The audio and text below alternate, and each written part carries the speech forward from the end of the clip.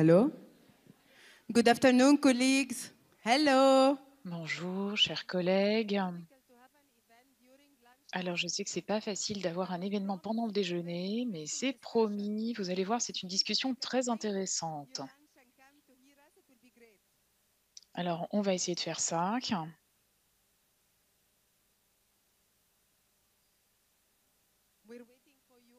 Alors, on vous attend.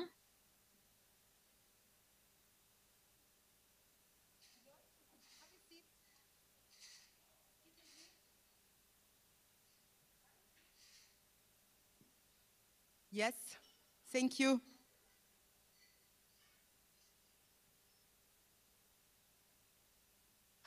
Manuel, sit.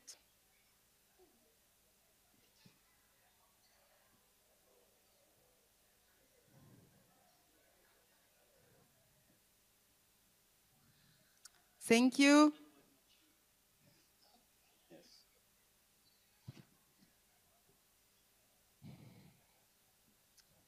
So, good afternoon, everyone. Ladies and gentlemen. Bonjour à tous.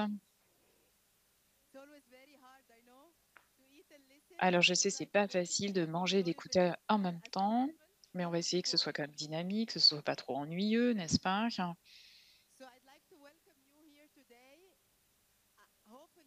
Alors, euh, c'est important, c'est une discussion, vous allez l'adorer. hein. Alors, allez-y, prenez place. hein. Alors, ici, donc c'est un événement parallèle pendant cette IDM. Alors, c'est important par rapport à cette session de ce matin. Et c'est vrai qu'ici, il s'agit de cette mobilité humaine. Aujourd'hui, on l'a parlé de cette mobilité, du contexte du changement climatique. Il s'agit d'informer l'avenir, comprendre finalement que ici, les mobilités dans le contexte important. Mais nous allons aussi revenir sur un thème important avec notamment notre Climb2. C'est une base de données. Donc, euh, Climb, base de données sur la mobilité humaine dans le contexte des catastrophes, du changement climatique et de la dégradation de l'environnement. Et donc, c'est un outil. Il y aura une petite animation, vous verrez aussi, ne vous inquiétez pas. C'est une discussion qui est nécessaire maintenant plus que jamais. Alors, en 2022, dans l'Asie-Pacifique, eh bien, ici, eh bien, dans le contexte de l'Afrique subsaharienne, eh bien, nous savons que nous sommes particulièrement ici touchés, notamment au Moyen-Orient, en Afrique de l'Est, nous savons comment est-ce que finalement que les tempêtes ici ont affecté, comme par exemple la ville de Derna en Libye, avec notamment les difficultés, les déplacements du jour au lendemain, l'impact sur les jeunes, les enfants, les personnes âgées, tous ceux qui malheureusement ont perdu la vie ou ont perdu leur maison. Nous avons la chance d'être là avec des experts, avec la famille onusienne, avec la société civile, avec les gouvernements, avec les jeunes, avec les leaders, afin de pouvoir discuter, échanger nos connaissances, nos expériences, mais aussi nous engager dans le cadre de ce leadership à cette mobilité humaine. C'est maintenant, et lorsqu'il s'agit du changement climatique, eh bien, nous sommes tous vulnérables. Nous sommes tous à la même enseigne. Et c'est pour cela que je voudrais vous présenter nos panélistes aujourd'hui avec ces commentaires ici, avant de passer à notre session. Mon collègue Jonathan Prentice, ici qui est, qui est président du euh, réseau du GCM, eh bien c'est lui le responsable du GCM, de ce réseau d'immigration. Jonathan, c'est à vous.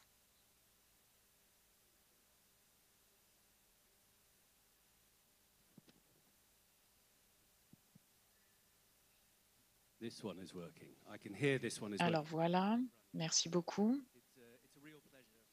Alors c'est un plaisir évidemment d'être là pour ce panel de lancement de la base de données Climb. Il s'agit ici du lancement officiel de cette base de données, qui est une base de données sur la mobilité humaine dans le contexte des catastrophes, du changement climatique et de la dégradation de l'environnement. Notamment, je voudrais remercier également ici le pôle du réseau sur l'immigration, du réseau des Nations Unies sur l'immigration, parce que l'on va retrouver ici différents instruments politiques qui sont pertinents en matière de mobilité humaine dans le contexte des catastrophes, du changement climatique et de la dégradation de l'environnement dans près de 170 pays. Je pense que cela reflète ici deux points importants d'observation. Tout d'abord, que la mobilité humaine, telle que liée aux catastrophes humaines, catastrophe environnementale est pertinente partout. Donc ce n'est pas un problème dans un autre pays. Ce n'est pas limité à une région ou à une sous-région. Deuxièmement, le pacte mondial sur l'immigration se concentre sur les partenariats, la coopération et devient donc encore plus pertinent. Eh bien ici, je pense que dans la présentation de mes collègues sur Climb, eh bien, ici, nous reviendrons sur ces éléments, mais je voudrais aussi réitérer euh, vraiment cet appel au partenariat dans le cadre de notre réseau afin de pouvoir utiliser notre expertise pour développer des réponses pour les communautés impactées. Comme nous le savons, le pacte mondial sur les migrations reconnaît l'intersection ici dévastatrice de la mobilité humaine et du changement climatique. Il nous faut donc coopérer entre les systèmes onusiens, les pays, les parties prenantes pour avoir un impact positif. Dans le cadre de ce forum et d'évaluation ici des besoins, ce phénomène d'urgence a été renforcé, notamment avec cet appel à pouvoir euh, lancer parce que c'est un impact et c'est important ici que cet appel puisse justement continuer dans le cadre de ces revues régionales. La déclaration, les évaluations qui sont faites, notamment sur le pacte mondial, et bien maintenant, il y a réellement et bien, des effets qui doivent être constatés avec des actions concrètes. Cela va nous permettre euh, de souligner l'importance du changement climatique de la mobilité. Et nous avons vu ici notamment que le comité de pilotage du fonds qui considère ça comme une priorité et le fait ici que c'est un appel à l'action en soutenant les réponses dans le cadre de programmes communs dans différentes régions comme la Corne de l'Afrique et dans le Pacifique mais aussi au Brésil et en Inde, en se concentrant sur les manques de données, la résilience climatique et les stratégies en matière de santé. Nous savons également que ces discussions sur les indicateurs eh bien, ont eu un impact sur le suivi des avancées au jour d'aujourd'hui, nous continuons cette activité. Le climat est un outil important pour nous permettre d'avancer sur le thème de cette cohérence. C'est un cadre qui va être petit à petit mis à jour. Nous allons pouvoir en apprendre les uns des autres, nous entraider, et c'est ainsi que nous pourrons développer un futur plus résilient et plus équitable. Je vous remercie.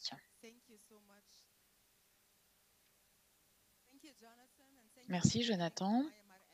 et merci ici d'avoir parlé de cet engagement qui a donc été présenté dans un document stratégique important, mais qui va influencer aussi tous les plans nationaux sur les différents continents. Et maintenant, je voudrais vous présenter son Excellence, Monsieur Emmanuel Antaoui, représentant permanent du Ghana au bureau euh, ici des Nations Unies à Genève. Merci Madame la modératrice. C'est un plaisir d'être là avec vous. et de participer à cet événement pour lancer cet outil Climb. Mesdames et messieurs, je voudrais commencer par féliciter ici les membres du réseau des migrations, l'OIM, tous les bailleurs de fonds, les partenaires, les experts, afin de nous permettre de mieux comprendre hum, ici les effets de la migration et le fait que pour ces solutions, ce sont des solutions pour répondre aux défis, notamment en matière d'opportunités, sur les questions du changement climatique et de la mobilité humaine. C'est remarquable de noter que ici, près de 900 outils dans près de 170 pays ont été identifiés, comptabilisés, analysés et partagés dans cet outil Climb. Nous savons ici que, nombreux sont les éléments qui sont importants et cette base de données Climb est un outil innovant pour les décideurs politiques et tous ceux qui travaillent sur la mobilité humaine dans le contexte du changement climatique, de la dégradation environnementale. C'est un cadre analytique avec des indicateurs qui pourraient être utilisés pour un suivi et comprendre les efforts et cette perspective. Promouvoir des politiques migratoires qui soient concrètes. Nous pouvons tous ici apprendre les uns des autres.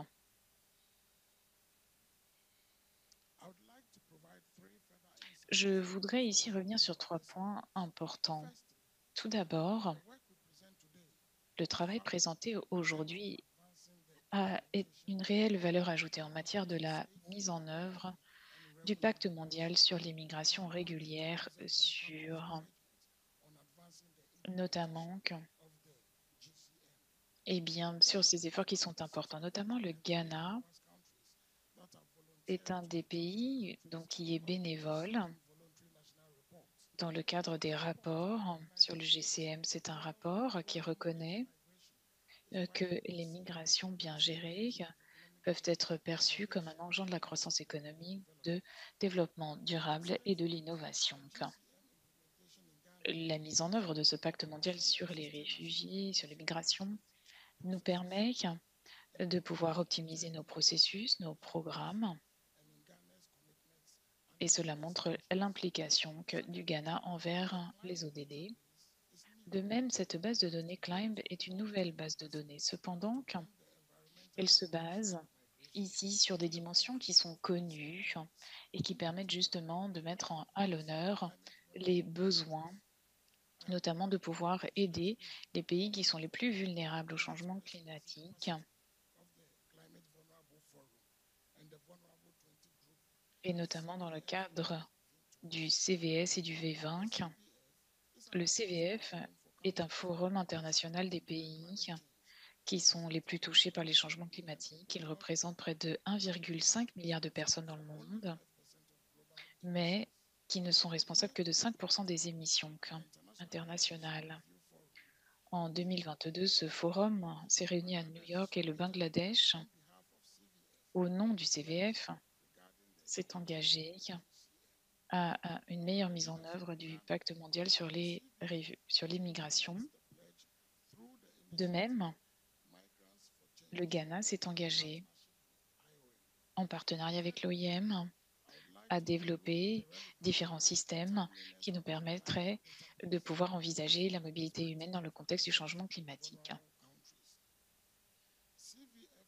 Le CVS et les États membres sont engagés à partager ici leur trajectoire de vulnérabilité à la prospérité. Pour ce faire, l'impact du changement climatique sur la mobilité humaine ne peut être ignoré. Les contributions des migrants sont nécessaires, ainsi que la contribution de la diaspora. Cette baisse de données montre que les pratiques se concentrent principalement sur, ici, les impacts négatifs du changement climatique. Mais dans le cadre de cette vision, il est important de pouvoir soutenir les efforts en se concentrant sur l'adaptation, la résilience, surtout dans le domaine de la planification économique et financière. Le CVF collabore avec euh, l'OIM afin de pouvoir développer un système juste pour tous. La valeur ajoutée de cette base de données Climb va nous permettre de comprendre également ce qu'il manque encore, ce qu'il va falloir faire pour accélérer l'action concrète sur le terrain. Il nous faut des voies juridiques de réponse à la dégradation environnementale, à l'impact des crises climatiques. Il faut soutenir les différentes contributions faites par les migrants et par la diaspora. Et c'est un honneur pour moi ici d'être président d'un jury d'un migrant, des migrants dans le contexte du changement climatique. Et j'invite chacun à nous suivre dans les semaines à venir, puisque nous allons partager des témoignages pleins d'inspiration et différentes initiatives. Pour conclure, chères excellences, mesdames et messieurs, il faut ici se souvenir qu'il y a 30 ans, depuis la publication du premier rapport de l'OIM sur la mobilité humaine et le changement climatique. 30 ans depuis ce premier, premier dialogue international sur la migration sur ce thème. Le changement climatique est là et donc il faut accélérer nos efforts lorsque nous avons cette opportunité d'agir. Je vous remercie de votre attention. Merci, Monsieur Emmanuel Antoui, et félicitations au Ghana pour vraiment le travail exceptionnel d'effectuer dans ce parcours à la COP28. Je pense que le Ghana et d'autres pays ont été extrêmement engagés en travaillant main dans la main avec différentes agences onusiennes, avec l'OIM, avec les communautés.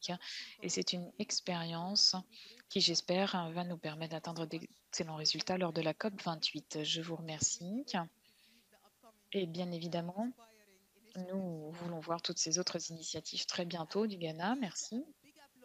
Je voudrais également applaudir ici et bien nos deux invités. Merci beaucoup à tous les deux d'avoir accepté cette invitation.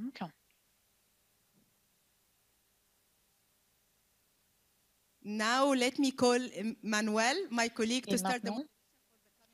Eh bien, nous allons passer à la session suivante, mais juste avant, nous vous avons promis une petite animation sur Climb. Donc ça arrive. Donc vous pouvez continuer à profiter de votre déjeuner tout en regardant cette petite vidéo. Tous les ans, dans le monde, nous devons faire face à la dégradation environnementale et au changement climatique. Millions sont ceux qui doivent ici être déplacés suite aux conséquences du changement climatique et d'autres se retrouvent enfermés ou bloqués dans des zones dangereuses. Lorsqu'il y a des migrations qui sont régulières, ordonnées, eh bien, souvent, on peut répondre à ces défis. Pour la première fois, une base de données liste ces différents outils, partage ces outils. C'est une base de données qui retrouve des pratiques, des cadres juridiques, qui permet de prioriser des actions dans le cadre de stratégies politiques et de l'action. Vous pouvez donc nous rejoindre en formant ici le futur de la mobilité humaine. Venez faire partie de la solution.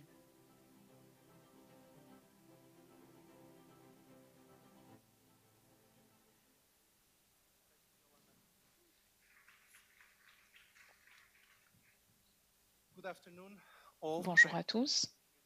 J'espère que vous m'entendez. C'est un plaisir ici d'être là avec vous, même si on est juste après le déjeuner. Je remercie évidemment Rania et Jonathan et Monsieur l'ambassadeur pour cette présentation de l'outil Climb.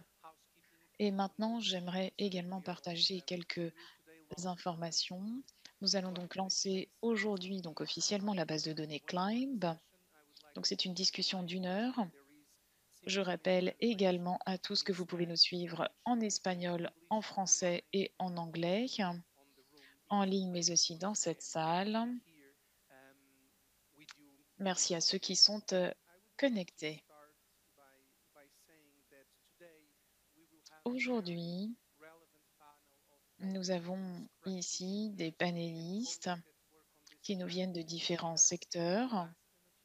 Nous allons pouvoir leur poser des questions, mais nous aurons aussi une présentation sur le travail technique de la base de données Climb, parce que c'est très enrichissant finalement de comprendre un peu plus la dynamique de ce processus.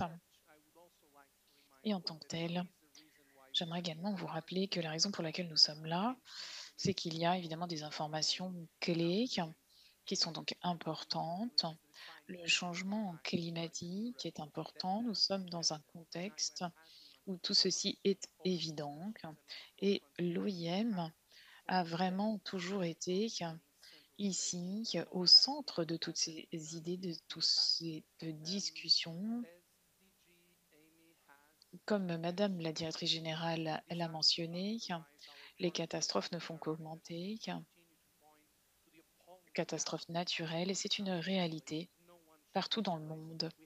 Et on ne devrait pas ici se retrouver dans une situation où il y a ces populations déplacées. Il faut ici pouvoir créer un monde où chacun peut prendre ses décisions face à la mobilité. Cet événement parallèle va nous permettre aujourd'hui de mieux comprendre ce contexte, de pouvoir mieux comprendre les efforts d'avoir assez de données pour pouvoir prendre justement ces décisions informées et voir justement quel sera le futur par rapport à ces décisions qui devront être prises, éclairer l'avenir, comprendre la mobilité humaine dans le contexte des catastrophes du changement climatique et de la dégradation de l'environnement. Je voudrais également ici mentionner que cette base de données en ligne regroupe ici différents instruments de 172 pays dans le cadre de politiques et d'instruments bilatéraux et nationaux. Donc c'est vraiment ici un vrai directoire de connaissances, des outils qu'on peut utiliser pour faire la différence dans la vie de nombreuses personnes. Vous entendrez les experts s'exprimer aujourd'hui, ceux qui ont créé cette base de données, mais également eh bien, je pense que nous pourrons bien évidemment l'utiliser, mais aussi y contribuer. C'est une base de données qui doit nous unir ici, notamment sur l'objectif d'aujourd'hui. Alors ici, il s'agit aussi de comprendre les mouvements de population dans ce contexte de catastrophe, du changement climatique, de la dégradation de l'environnement. Je pense que c'est assez évident dans le monde entier. Et d'ailleurs, lorsqu'on voit cette base de données, on regarde les instruments juridiques, les pratiques dans différents domaines, y compris la mobilité humaine, la gestion des risques, le changement climatique et le développement durable. Cela illustre les besoins de cohérence en matière politique, d'intégrer la migration dans les politiques climatiques, mais également de prendre en compte les considérations climatiques dans le cadre des politiques de migration. Avant d'ouvrir la porte ici à cette discussion, je voudrais ici inviter nos panélistes à s'exprimer sur ces thèmes et peut-être à faire une petite démonstration également sur cette base de données Climb.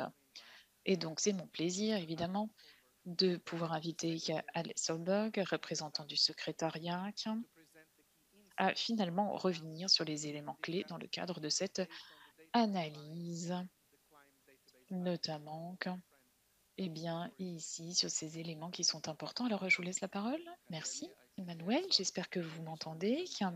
Merci beaucoup de m'avoir euh, invité. Bonjour à tous. Donc, tout d'abord, je voudrais féliciter l'OIM pour le thème d'aujourd'hui. Excellente initiative. Et on avait besoin de ce leadership, donc merci beaucoup. Je voudrais aussi euh, remercier le réseau de la migration des Nations Unies et le gouvernement d'Allemagne et le ministère fédéral de la coopération économique et du développement, d'avoir financé ici certaines de nos activités. Je travaille pour le secrétariat et c'est un honneur ici euh, justement d'être euh, là à ce panel. Et je remercie également le gouvernement de Fidji. Et ce qu'on m'a demandé finalement, c'est peut-être de revenir sur un peu le contexte de cette base de données. Et puis ensuite, ici, ma collègue pourra justement revenir sur ces éléments clés. Alors, quelques mots au niveau du contexte sur la base de données pour les personnes déplacées, besoin de notre soutien pour le pacte mondial pour la migration. Nous avons déjà entendu aujourd'hui qu'il y a deux objectifs clés. L'un pour traiter des impulseurs, les facteurs qui impulsent les personnes à quitter leur pays d'origine. Et il est listé les catastrophes, la dégradation de l'environnement et également dans l'objectif 5, on parle de voies flexibles pour une migration sécurisée lorsque les personnes doivent quitter leur pays, que leur soit sûr. Il faut les mentionner dans le il faut les mentionner dans ce Forum mondial sur la migration, dans ce pacte mondial pour la migration. La base de données que nous avons vue fait partie d'un effort euh, plus large pour la préparation du forum de mai 2022. Et ce que nous voulons faire, c'est soutenir les États d'avoir un outil pour mettre en œuvre le pacte mondial, notamment les deux objectifs dont j'ai mentionné. L'objectif 2, traiter des vecteurs et les voies. Nous avons développé un cadre analytique qui indique quelques indicateurs pour voir jusqu'où certains instruments politiques recommandés dans le pacte mondial ont été mis en œuvre.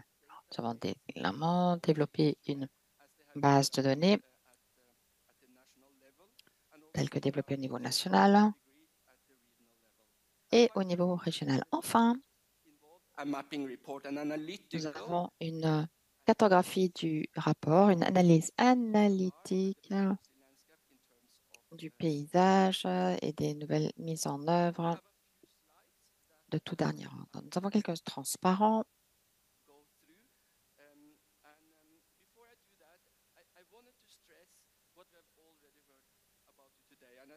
Je voudrais vous dire ce que vous avez déjà entendu aujourd'hui au niveau de la cohérence politique. La discussion que nous avons aujourd'hui repose également sur les engagements.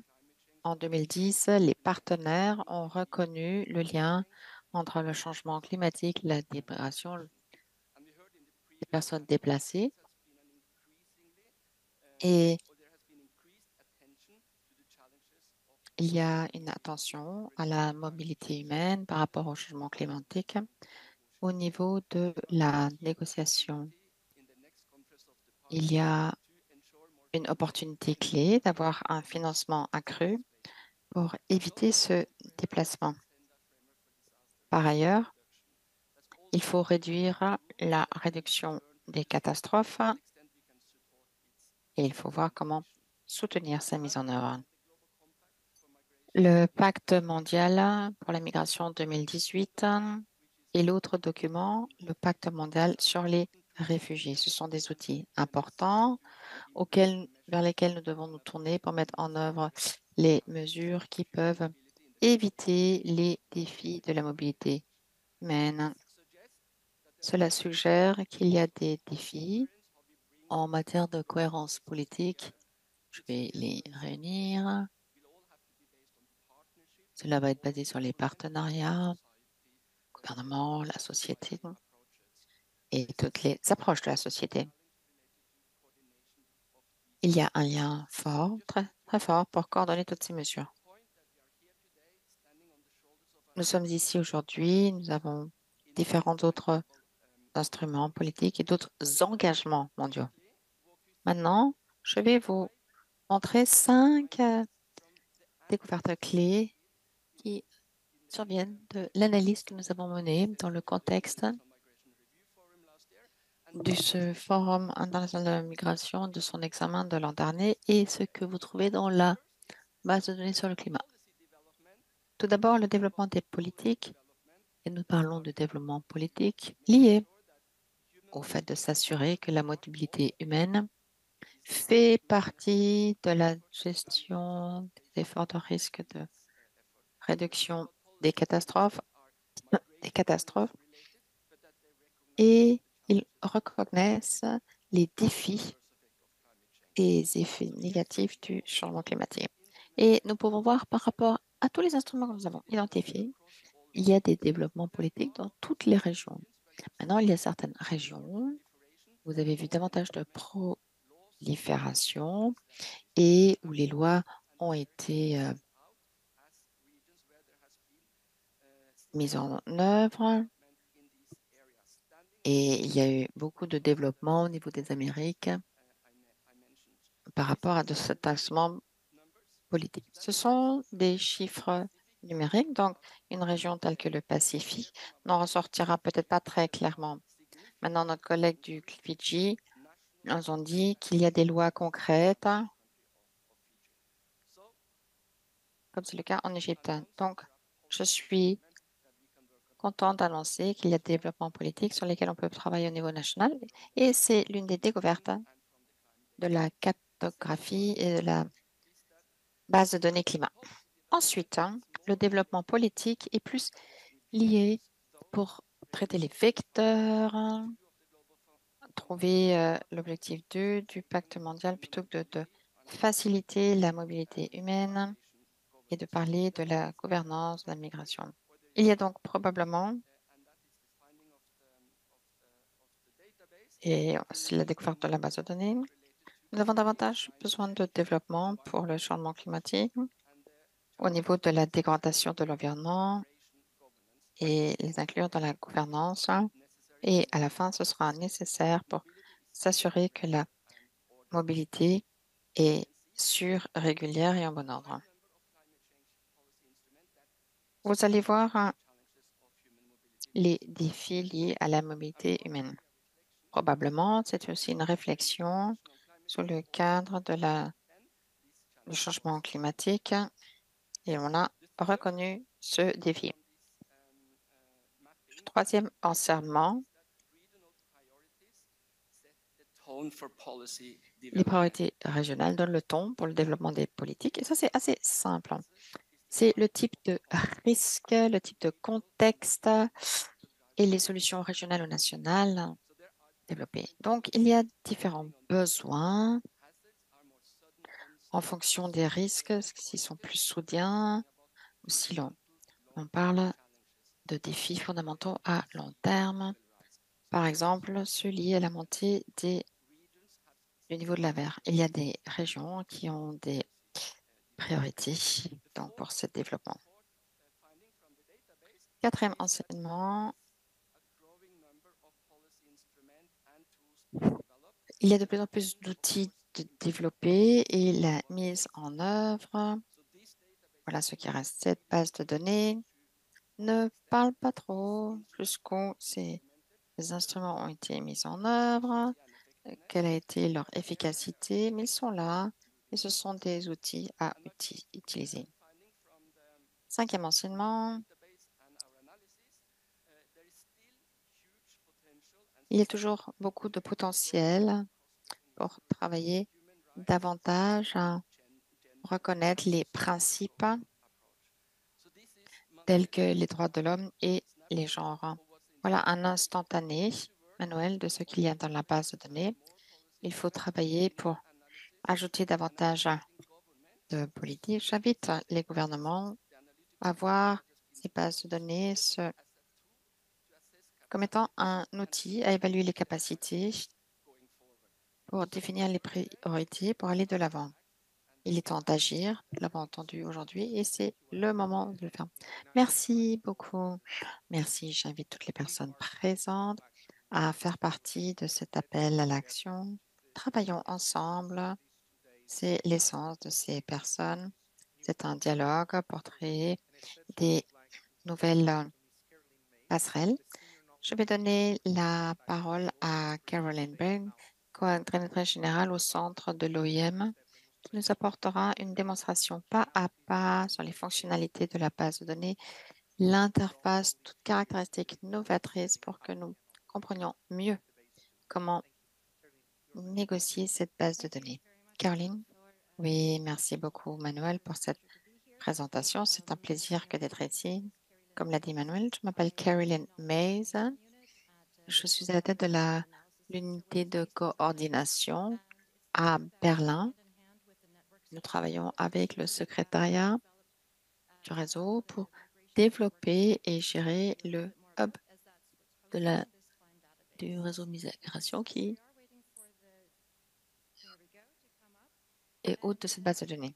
Nous attendons donc et mon rôle est de vous présenter comment trouver la base de données, comment naviguer une fois que vous êtes au sein de la base de données. Et ce que vous pouvez voir, c'est que ça repose sur le site web général du réseau de la migration. Vous allez pouvoir également le trouver dans différents points d'accès au sein de cette page d'accueil. Nous voulons vraiment faire la promotion et je vais vous montrer dans un instant. Alors, l'une des choses que je voulais vraiment vous dire, c'est que cette base de données, son développement a été un exemple fabuleux de traduire les connaissances en action.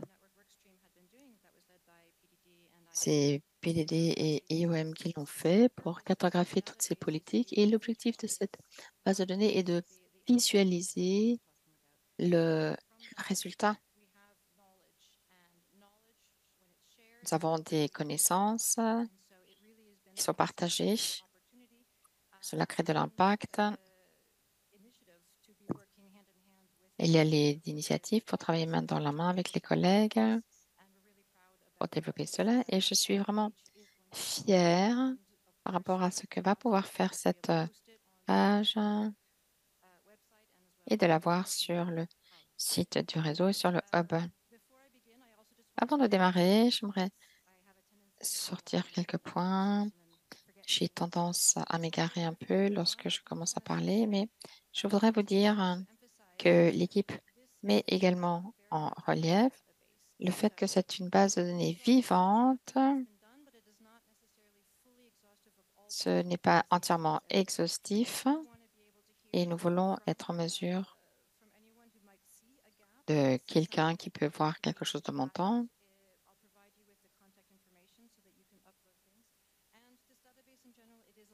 Base de données en général et live, qu'elle sera donc maintenue de sorte à ce que vous puissiez facilement accéder à l'information de manière accessible.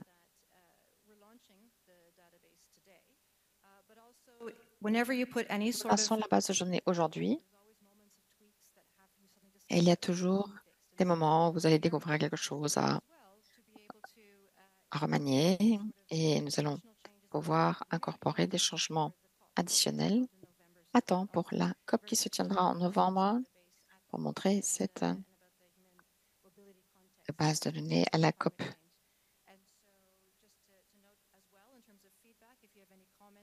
Sachez également si vous avez des commentaires sur les bases de données, de nous en faire part. Nous serions heureux de le mettre à jour.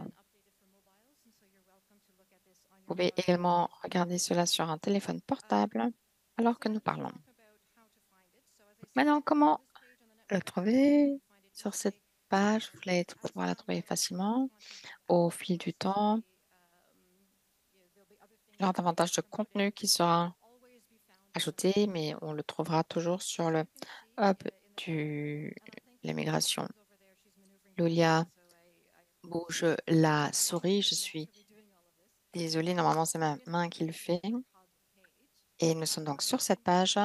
Et ce que vous pouvez voir, si vous voulez bien descendre un peu, ce hub du réseau de migration est une manifestation importante du pacte mondial qui a demandé la mise en œuvre d'une plateforme mondiale au sein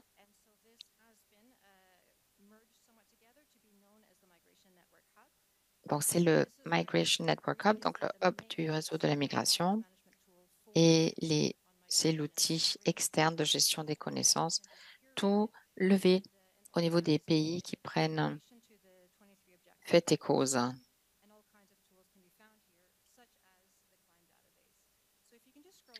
Donc, ceux du Pacte mondial pour la migration. Si vous voulez bien descendre. Et ce que nous allons faire, ou plutôt monter, nous allons entrer dans la base de données Climb. Et si vous allez en haut de la tabulation, vous le trouvez aussi au niveau de la navigation. C'est facile à accéder. Une fois que vous êtes sur la page, nous avons gardé cette page très simple, facile de naviguer. Et vous avez un bref résumé de ce qui s'y trouve. Vous avez une vue d'ensemble, plus de 1173 différents instruments nationaux. Et vous voyez, ils sont organisés par sujet de mobilité humaine, catastrophe, changement climatique, développement durable et d'autres sujets. Vous voyez combien il y a de sujets. Chaque politique a été nommée en fonction de son sujet essentiel. Vous voyez lequel est donc pertinent. Vous pouvez faire des recherches. On en associe les deux ensemble. Descendez encore un peu si vous voulez bien, Lydia. Ici, c'est le tableau de bord avec les différents contenus trouvés dans un résumé. Et vous pouvez partir du globe ou sur la carte. Sympa. On va garder cette vue. Et là, ce que vous voyez, c'est que si vous venez à cliquer sur mobilité humaine, Human Mobility, à droite, vous verrez le nombre de politiques contenues dans la base de données. Et les pays qui ont le plus de politiques disponibles sur ce sujet. Vous avez Éthiopie, Somalie, Albanie, et qui tombe sur catastrophe. Et là, vous voyez, il y a la mobilité humaine et les pays où il y a le nombre de politiques. Vous pouvez avoir une autre vue pour voir combien il y en a. Et en bas, en cliquant sur pays, vous voyez les données dans le graphique et dans le pays. Vous voyez quand ils ont développé les différentes politiques et combien elles en ont développé au cours des années. Si vous voulez regarder par région, vous allez à gauche. Vous cliquez par exemple sur Afrique. Vous allez voir les pays. Si vous voulez faire un recette. Ah, non, attendez. Non, non, non, il faut passer par le bouton recette. Parfait. Alors que là, elle nous regarde mobilité humaine et catastrophe.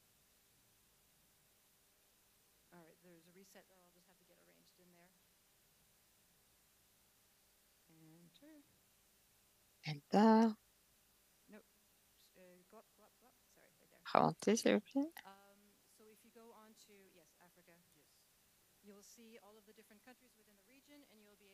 Vous allez voir les différents pays dans la région et la répartition au niveau des politiques disponibles pour les Amériques. Si vous, oui. si vous dégauchez l'Afrique pour les Amériques,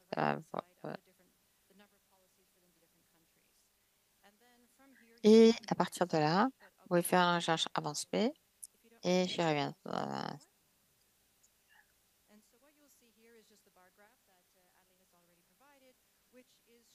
Ici, vous voyez le graphique qui vous montre la répartition des différentes politiques par sujet au cours des ans. Et vous pouvez voir la croissance au niveau du développement des politiques au cours des dernières années.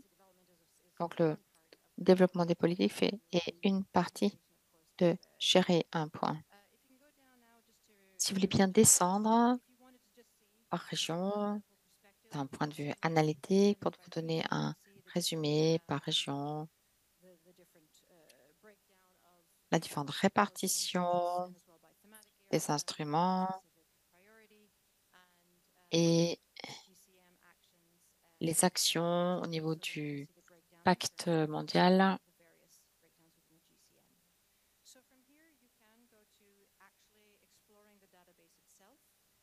Explorer la base de données. Et là, vous avez les chiffres total à droite. Vous pouvez mettre les filtres. Ici, vous avez la possibilité d'entrer dans les différents instruments et vous pouvez faire votre recherche par année en bougeant le curseur.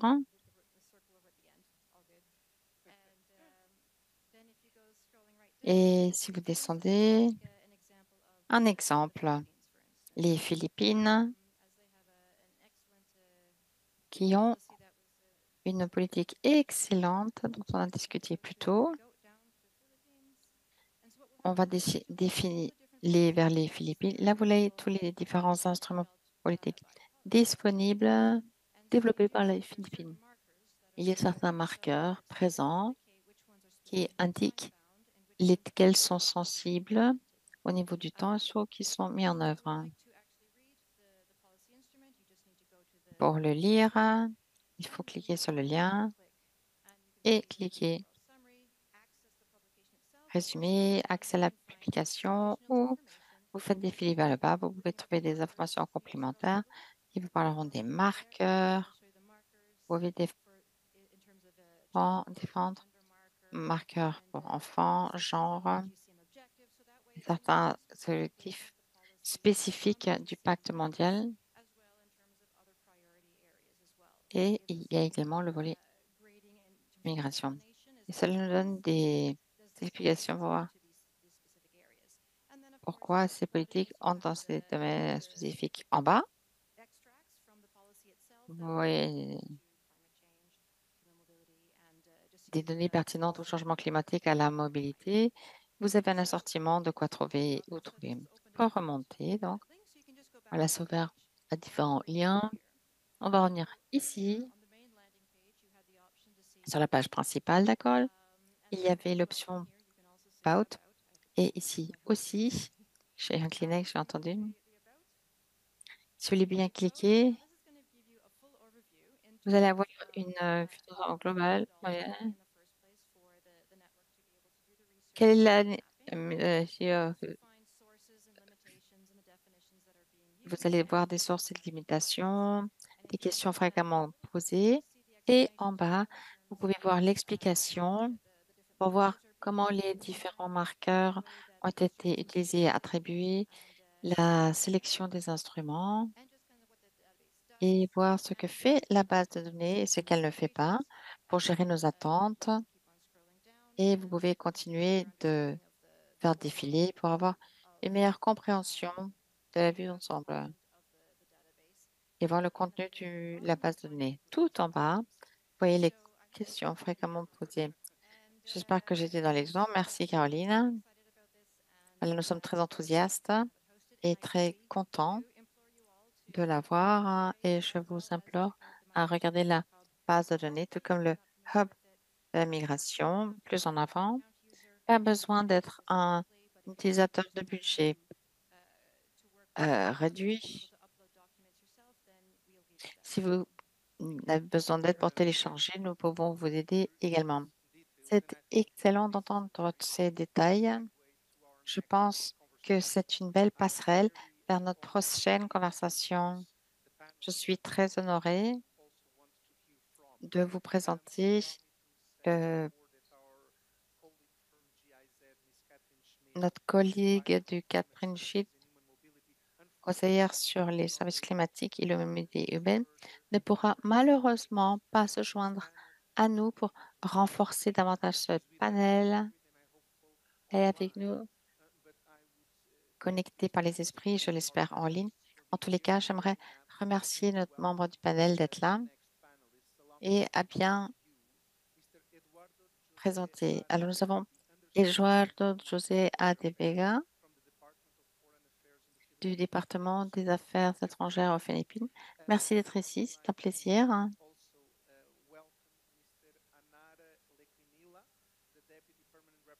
J'aimerais remercier et souhaiter la bienvenue de Marty Levekinil de Fidji et mademoiselle Susanna Sweden-Stoppa, conseillère pour les affaires migratoires du changement climatique de la permanente de l'ONU à Genève. C'est un réel plaisir que de vous avoir ici.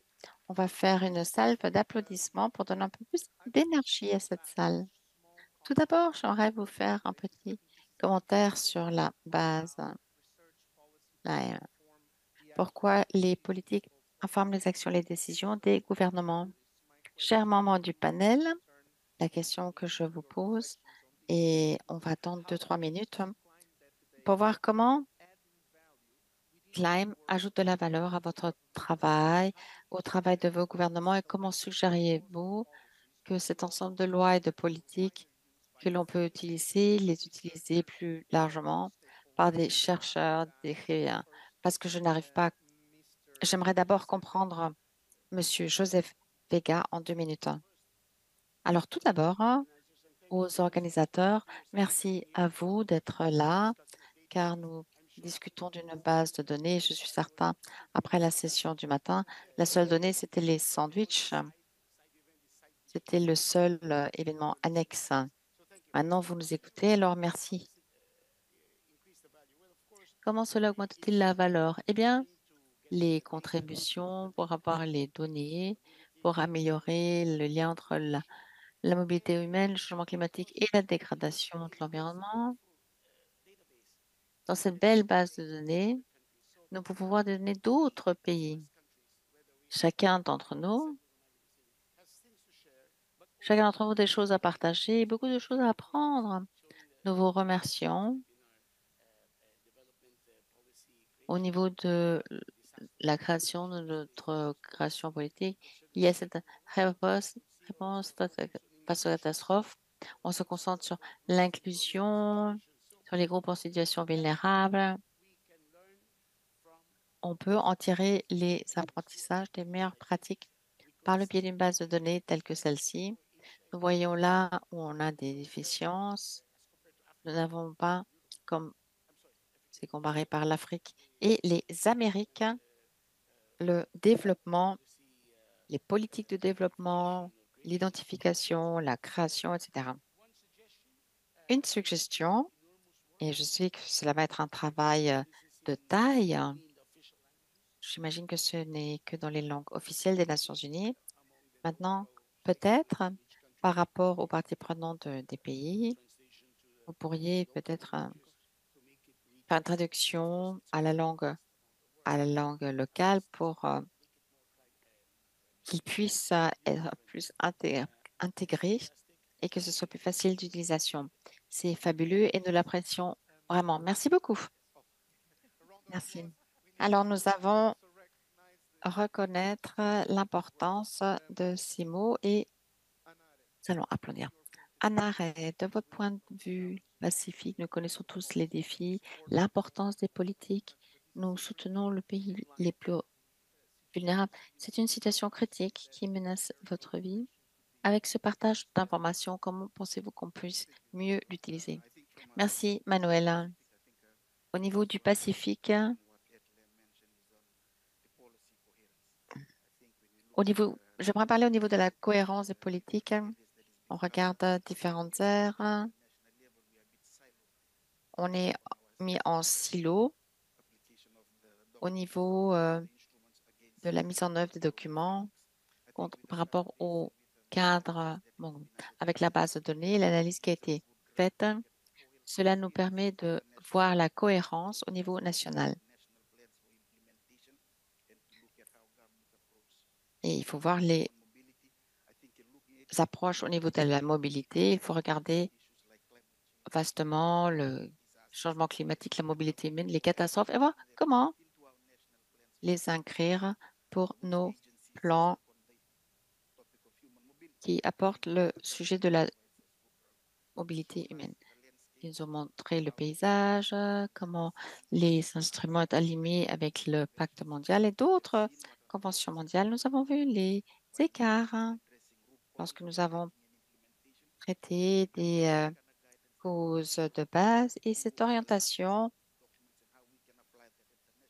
comment on peut appliquer cela au niveau national, notamment pour nous dans le Pacifique, où bon nombre de ces problèmes arrivent. Et on peut y regarder de manière cohérente et le mettre en œuvre. Ça, c'est important et c'est important au niveau de la base de données telle qu'elle a été présentée aujourd'hui.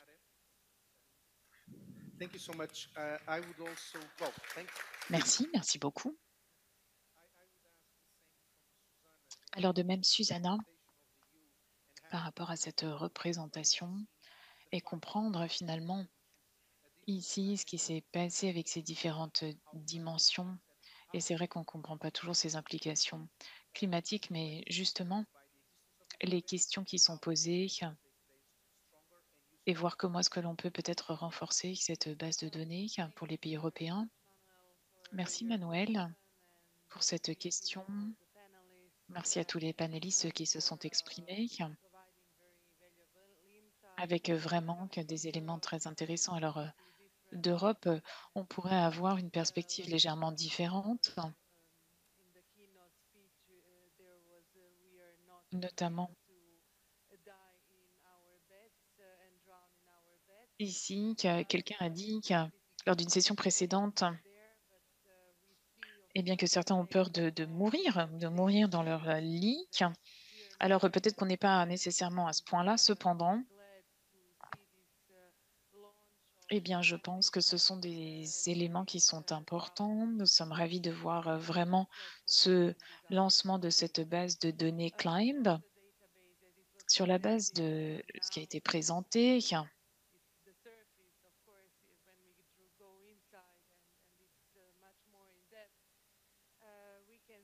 Eh bien, on peut très clairement voir que la qualité des données la quantité des données qui est collectée surpasse les objectifs premiers avec le processus de cartographie initiale. Donc, nous sommes vraiment ravis que cela ait été au-delà.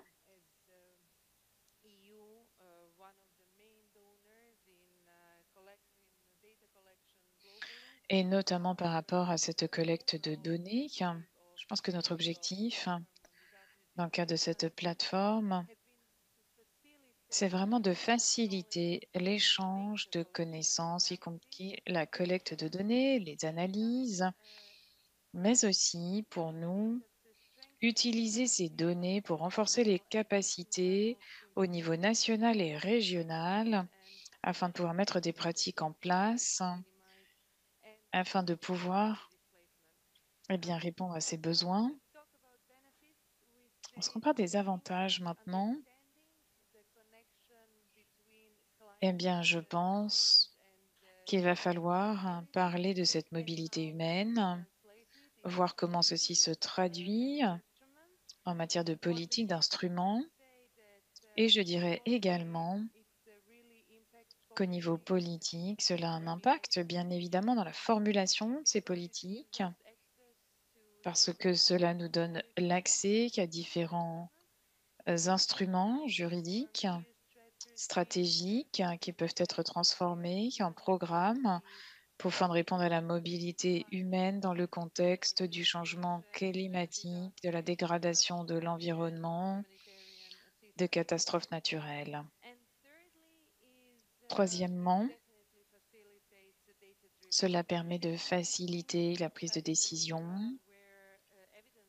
dans un contexte ici où c'est important, où l'information est essentielle. Donc cette base de données est vraiment une base robuste de formulation. Alors on va rentrer dans les détails, bien évidemment, mais j'ai encore des questions d'ailleurs. Mais tout d'abord, je voudrais qu'on applaudisse Susanna d'avoir accepté notre invitation aujourd'hui. J'ai encore quelques questions.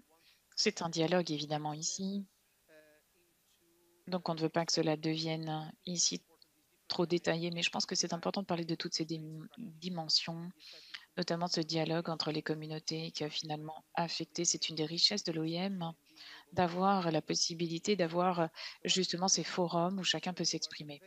Monsieur Eduardo de Vega, est-ce que vous pouvez, s'il vous plaît, revenir sur le rôle des données dans la génération d'éléments de preuve et comment est-ce que cela a aidé les Philippines pour protéger le bien-être des migrants affectés par le changement climatique. Pour être bref, je me souviens du maire de Santiago qui un jour a dit que lorsqu'il voit la migration, il y avait encore un manque de lien dans les mentalités entre la migration et la mobilité humaine. Et dans le cas de la, des Philippines, et on l'a vu d'ailleurs dans ce qui a été montré avec les différentes bases de données, avec euh, ici en Asie, c'est principalement la protection. Eh bien ici, on voit souvent qu'ils sont motivés juste par les aspects économiques, mais en fait, eh bien au contraire, il y a ici des lois récentes qui ont été passées, qui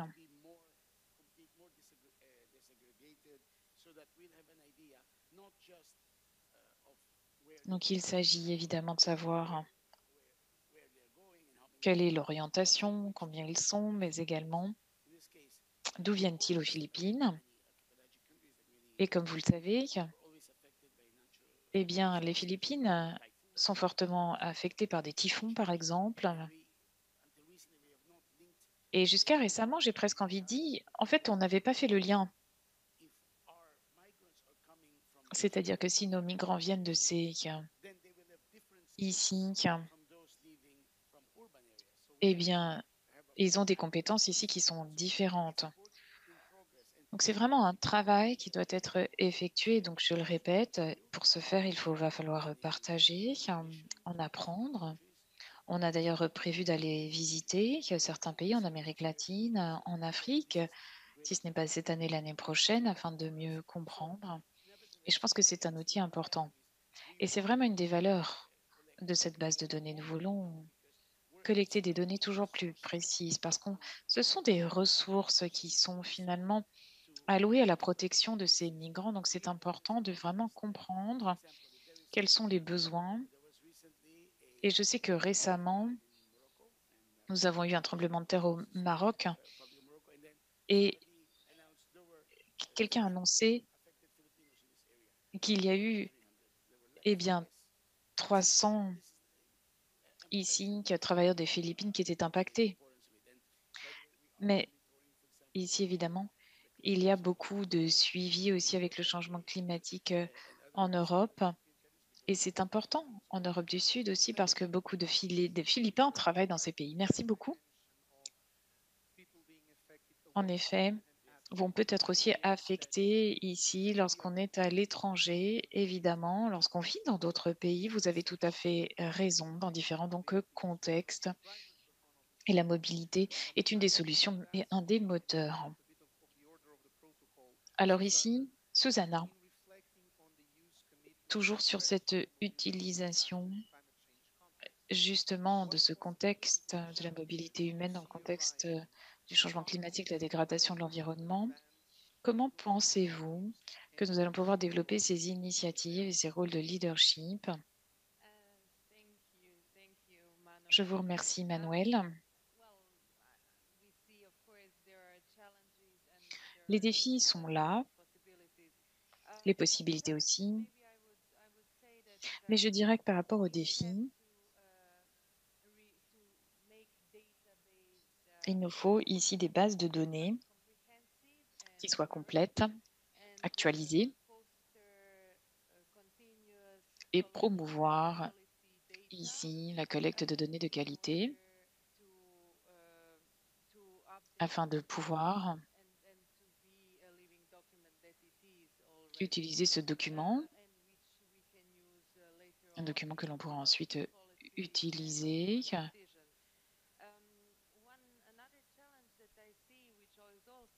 Alors, un autre défi que l'on voit souvent,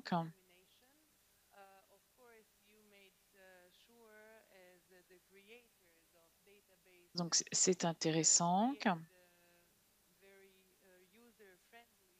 d'avoir justement cette plateforme ici qui est facile à utiliser et de pouvoir justement pour nous, au niveau du gouvernement, mais aussi au niveau régional, ici de la communauté, répondre aux besoins.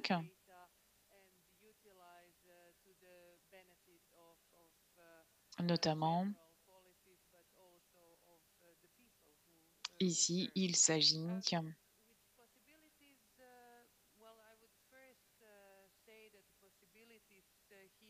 les possibilités aujourd'hui sont multiples et euh, tout d'abord résident dans la collaboration, comme les Philippines l'ont très bien dit, notamment par rapport aux besoins. Mais ici, avec ces euphémismes, bien évidemment, afin de pouvoir réellement, et eh bien, dans d'autres régions, les aider.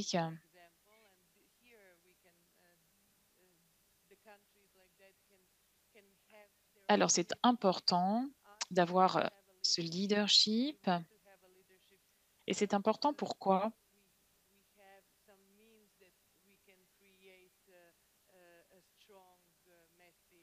Alors, c'est un message fort qu'il faut créer.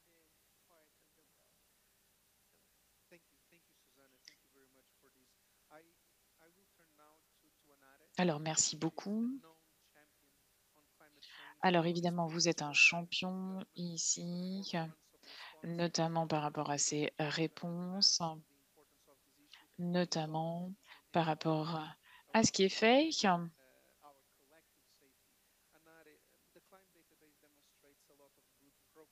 Alors, je sais qu'il y a beaucoup de progrès qui ont été faits notamment que dans le Pacifique. Donc, en fait, je voudrais savoir pour vous, quelles sont les leçons ici? Qu'est-ce que l'on pourrait vraiment ici comprendre, notamment ici? On sait que c'est la région du Pacifique a vraiment ici été affectée. Et donc, on voudrait vraiment votre opinion. Comment peut-on avancer sur ces thèmes? Je vous remercie, Manuel.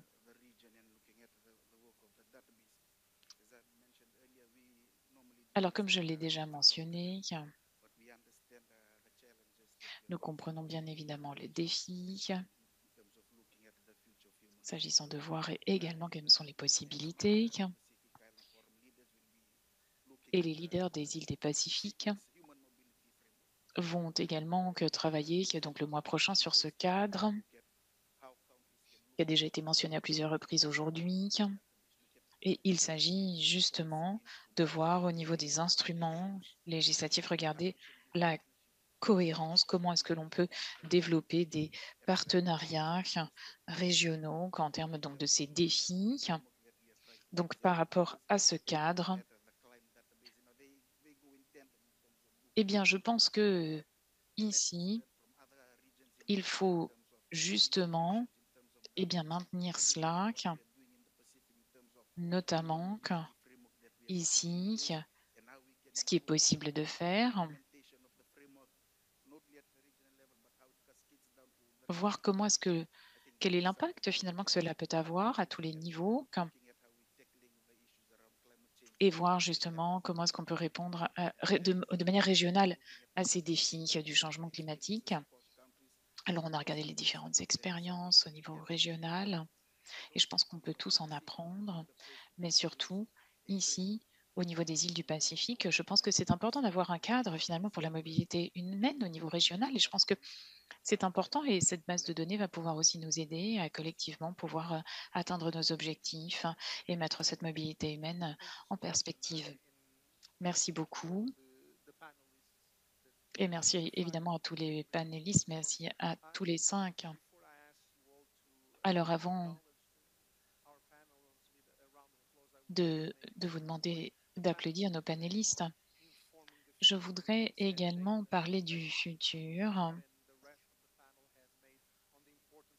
C'est ici important que alors c'est essentiel. Pourquoi Eh bien, l'OIM est aux côtés des pays membres pour développer ces cadres, ces politiques, pour créer ce pacte mondial que nous souhaitons afin que la mobilité ici soit perçue dans le contexte du changement climatique. Donc, n'hésitez pas, consultez cette base de données. Connectons-nous. Merci à tous ceux qui nous ont suivis dans cette salle et en ligne. Je euh, vous applaudis très fort. Merci beaucoup.